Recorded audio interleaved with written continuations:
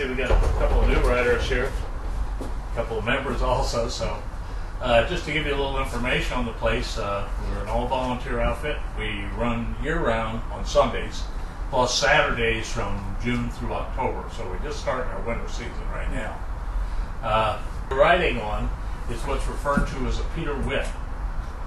Where the term comes from, Peter Witt, is actually Peter Witt was a trolley company or traction company, whichever term you want to use, official from Cleveland, Ohio. And you have to sort of, to understand it, you have to sort of build up to it. If you look, those of you who rode 264, when you get on the car, as soon as it starts moving, the conductor comes through and collects the fares. Then he goes back to his station at the rear of the car.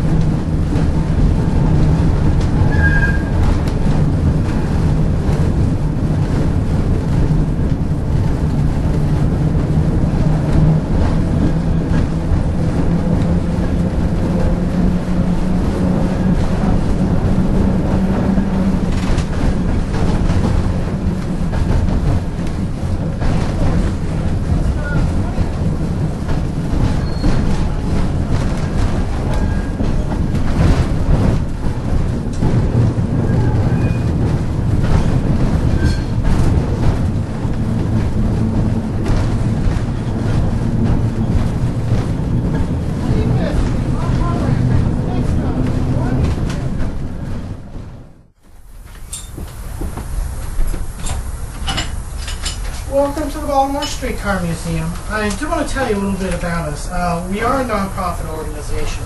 Everybody volunteers around here. They volunteer to run this, uh, the museum. They volunteer to operate the streetcars.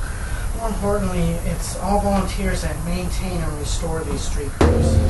They do it on their uh, time off on the weekends, whenever they get a chance. Remember, if something breaks down on a streetcar, uh, we just can't put a trans on it. We either get a part from another um, broken down streetcar, or they literally have to make parts. They make parts here. Um, this streetcar is a good example. Uh, recently brought this back into service about three years ago.